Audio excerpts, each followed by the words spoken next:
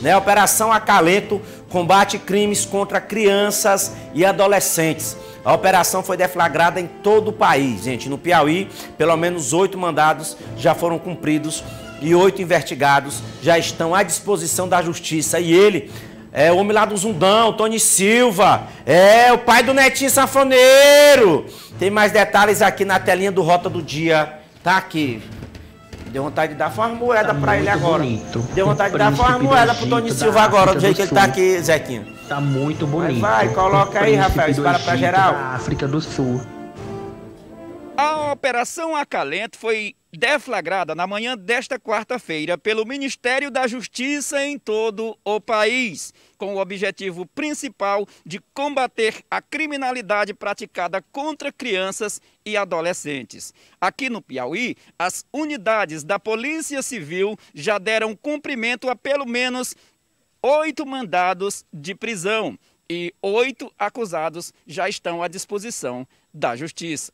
Mais detalhes agora com o delegado titular do Gerenciamento de Polícia Especializada, Matheus Zanata.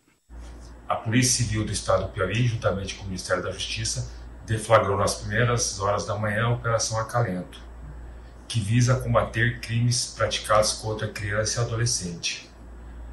É, a Polícia Civil do Piauí cumpriu oito mandados de prisão é, por estupro vulnerável e também conseguiu atender a 143 denúncias feitas pelo Disque 100 e Disque 180.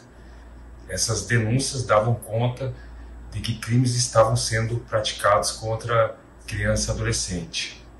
As denúncias foram atendidas em todo o estado do Piauí. A Operação Acalento está sendo feita em todos os estados da federação e, e hoje é, é o dia que nós comemoramos a publicação do Estatuto da Criança e Adolescente, que foi feito em 1990. É com as imagens de Zeca Moreno e a edição de Azael Vaz que eu volto aos estúdios da sua, o Dia TV. Aí, rapaz, o Zeca Moreno, pai da Pietra. Um abraço, Zeca. Valeu, meu irmão. É desse jeito aí, viu, Zeca?